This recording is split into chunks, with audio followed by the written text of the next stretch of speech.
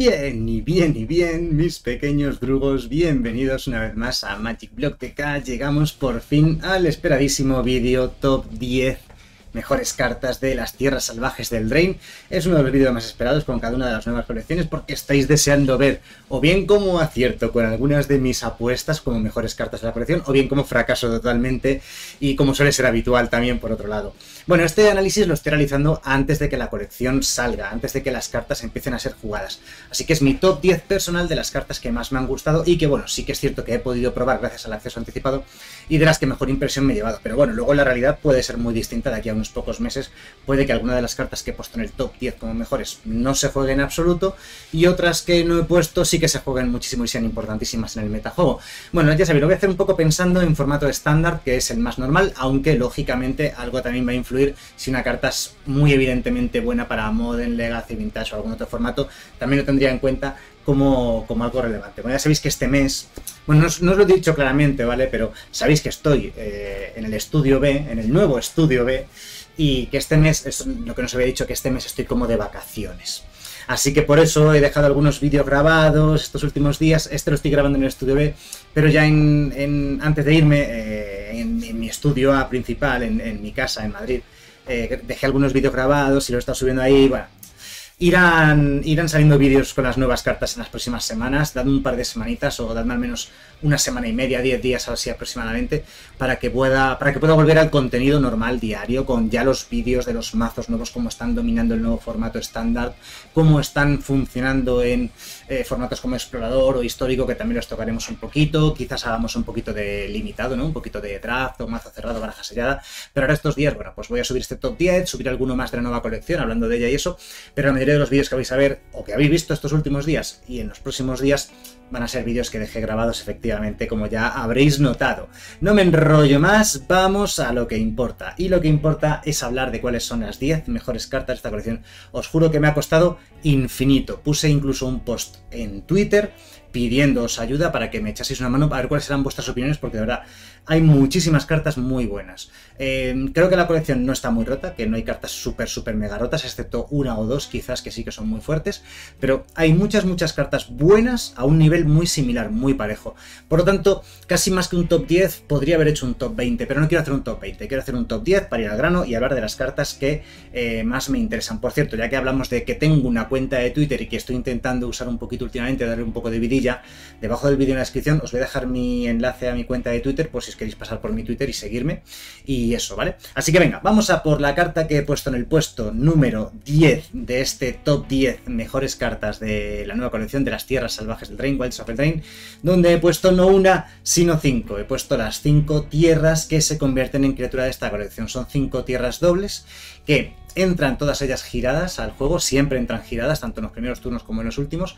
No son las mejores eh, tierras que se convierten en criatura de la historia del juego, pero son suficientemente buenas como para que vayan a ver un montón de juego durante los próximos tres años, porque como ya sabéis ahora, las cartas en estándar van a permanecer durante tres años. Como digo, no están muy rotas, no son muy fuertes, entran en juego giradas, cuestan bastante de activar en general, esta cuesta 4 para que se convierta en un 4-4, pero además tienen una pequeña habilidad extra adicional. No están nada mal, tampoco están súper bien, pero son suficientes, como digo, para el top 10 y además dan mana de dos colores distintos.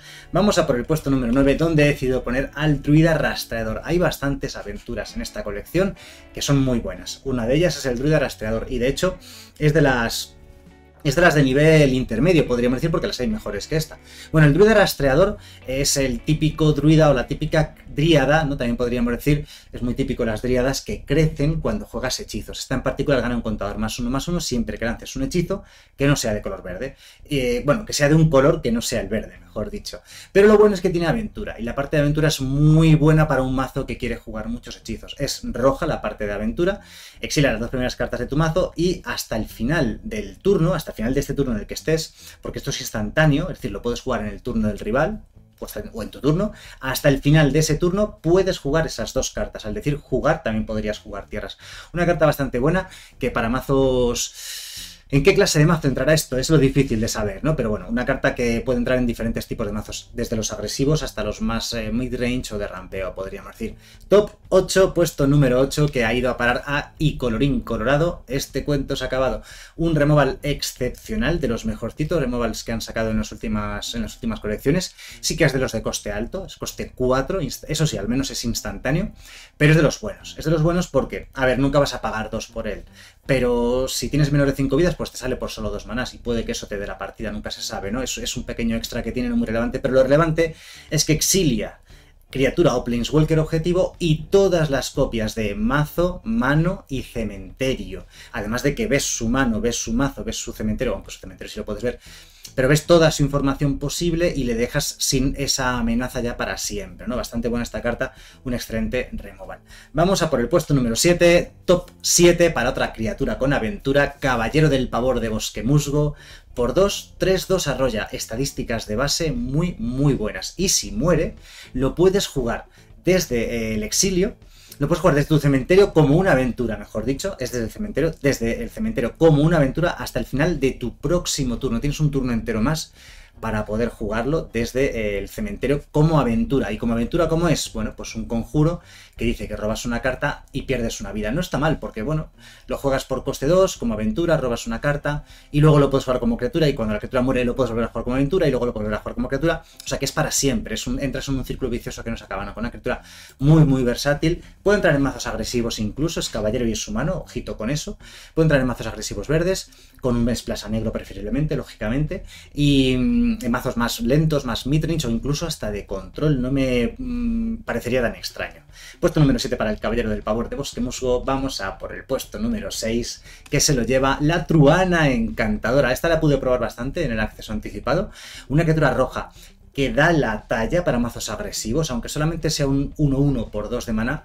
Eh, ya hay muchas criaturas rojas actualmente en estándar que por 2 son 2-2 prisa. Bueno, esta pega un poquito menos, pero sus habilidades la hacen súper versátil. Creo que pasa el corte para mazos agresivos pasa el corte para mazos de cementerio, de manipulación de biblioteca, ese tipo de cosas, y además pasa el corte para mazos que tengan la temática de negociar, es decir, sacrificar fichas, sacrificar artefactos, porque pone una ficha de tesoro, y también entra en mazos de aceleración de maná, por esa ficha de tesoro, es como un bicho que te acelera el maná, ¿no? Es una carta que no es súper brillante en ninguna de las facetas que tiene, pero es que tiene cuatro facetas, uno, uno prisa, y luego otras tres habilidades a elegir la que más te interese cada vez que entra en juego. Top número 5, que se lo doy a elemental del Brasil. Esta carta me pareció espectacular. Es una de las mejores, por no decir la mejor, eh, infrecuente o poco común, como queréis llamarla, de esta colección sin duda y una de las mejores cartas que seguramente vaya a haber juego en bastantes formatos.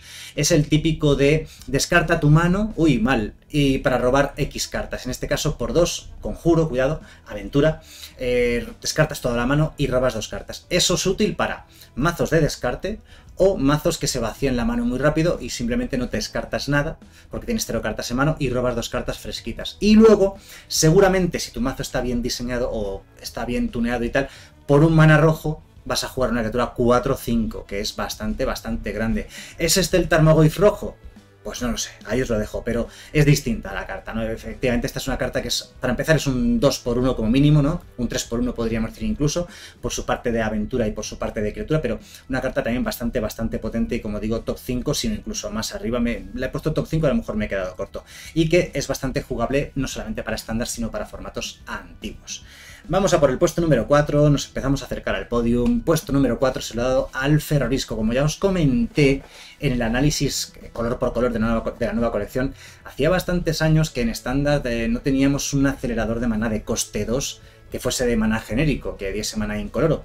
Y bueno, este el Ferrorisco viene a cambiar un poquito el paradigma. Desde hace ya unos pocos años, como digo, es prácticamente solamente el color verde el que puede tener aceleradores de coste 1 o 2. Eh, fundamentalmente dos, ¿no? Y esto entra en cualquier color. Luego más adelante, cuando juegas otro ferrorisco, pues haces que el primer ferrorisco se convierta en un equipo, es que el problema que tienes es que es legendario. Pero mire, incluso, incluso aunque si te robas varios como es legendario se convierte en equipo, pues tampoco has perdido tanto. Puede cambiar bastante el paradigma de lo que es estándar esta carta, sobre todo en mazos eh, que tratan de jugar hechizos de coste alto y que antes no tenían esa aceleración, ya sean colores como el negro, el azul, el blanco o el rojo, ¿no? Una carta muy interesante y que probaremos a tope con ella. Es difícil llevar cuatro copias de esta carta, pero dos es muy fácil que entre en bastantes mazos. Ahora sí, llegamos a al top 3 mejores cartas, el podium de las mejores cartas de las tierras salvajes del Reign, medalla de bronce que he decidido dar a llegar la medianoche, seguramente esta sí sea la mejor poco común de la colección, la mejor infrecuente, por 3 instantáneo, destruye cualquier permanente que no sea tierra, pero cualquier permanente que no sea tierra es muchísima versatilidad, y sí, al controlador le dejas un token 1-1 de humano, que es muy, muy, muy poquita cosa en comparación con lo que le hayas podido romper. Eh, una carta excepcional y que va a haber juego eh, instantáneamente, nunca mejor dicho, en todos los formatos en los que sea legal. En estándar, bueno, es legal en todos los formatos, es decir, en estándar o en cualquier otro formato más antiguo, esta carta va a haber juego, además solamente cuesta un mana blanco, 3 en total de mana, y una carta muy muy buena y con un efecto pues tremendamente bueno, ¿no? Muy sencilla y muy, muy simple. Así que medalla de bronce para llegar a la medianoche. Vamos a por la medalla de plata de esta colección. Top 2, Virtud de la Perseverancia. Y ya vais a ver cómo esta carta se va a ir jugando más y más y más. ¿Por qué? Porque como removal, la parte de aventura, coste 2, aunque sea conjuro, menos 3, menos 3 y ganas 2 vidas, es ya perfecta, es excepcional. Es el removal que todo mazo de control o mazo lento querría. Un removal que por una cantidad de mana relativamente pequeña es capaz de matar a casi todas las criaturas pequeñas y que además te da un par de viditas y luego llegando a coste 7 se convierte en una auténtica locura de carta, la juegas como encantamiento, empiezas a hacer reanimate cada turno, pues ya estaría, ¿no? Es una carta que la veo muy muy potente, muy poderosa y que la vais a ver de 4 en 4 en cualquier mazo de control, incluso midrange que sea que sea un poquito, un poquito lento y que quiera un poquito removers de alguna manera, pues vais a ver cuatro copias de esta carta casi seguro en todos ellos.